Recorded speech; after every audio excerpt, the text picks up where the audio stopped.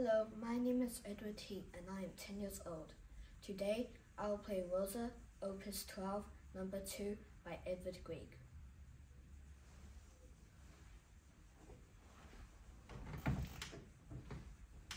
Mm -hmm.